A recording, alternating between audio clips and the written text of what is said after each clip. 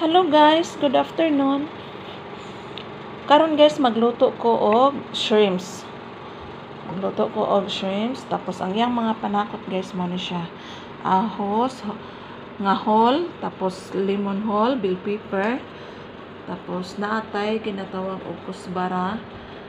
Ah, nalimot ko sa English unsa ni siya guys. Tapos natay is bent.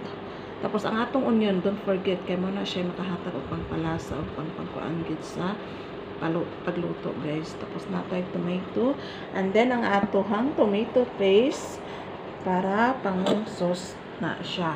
So karon guys, subdan na nato ang atong pagluto guys.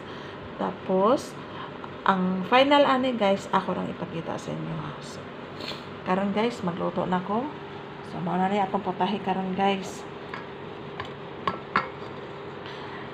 Ang ngalan ani guys in Arabic guys is Maragrubian.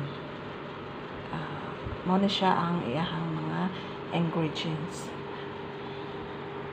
Hi guys, karon guys, ato na usahon ang sibuyas guys.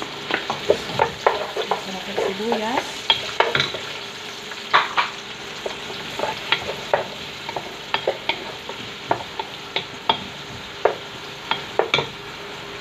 Tapos atong garlic guys. Ato na siya ilunod.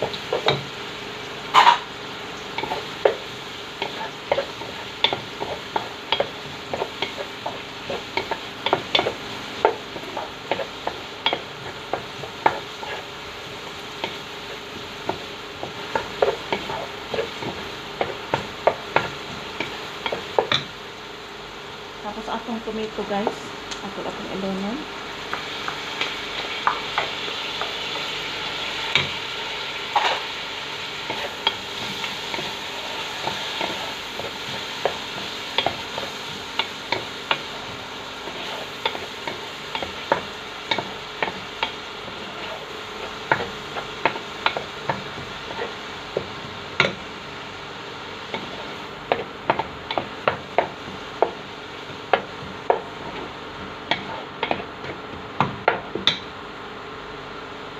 Tapos guys, ako na rin ilunod ang ako ang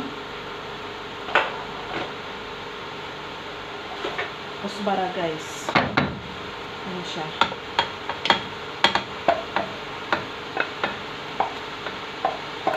Siya kusbara. Tapos atong isbent.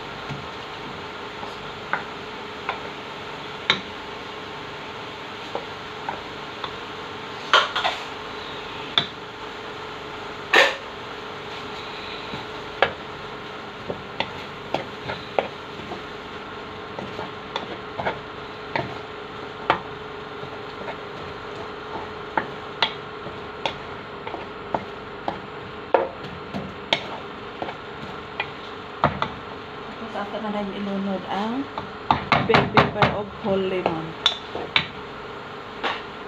O ang garlic na whole. So, ako na lang siya itang mix na lang guys.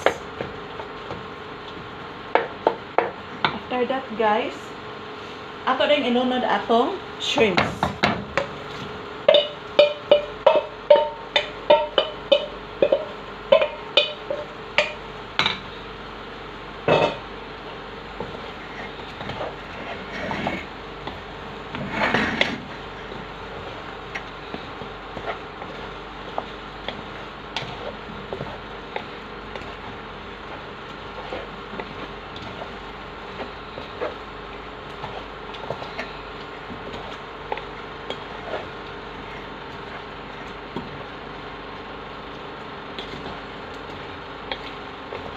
Okay.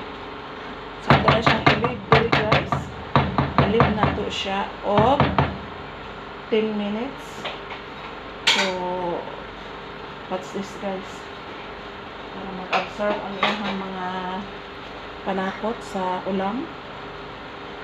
So, ako siyang tabunan.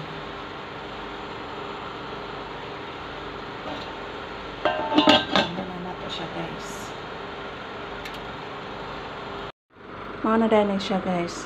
Ako na din siyang gisabawan guys. O 5 cups of water. So, until mag-sticky siya guys ug maluto ang mga vegetables nga gisakol og mag-sticky siya.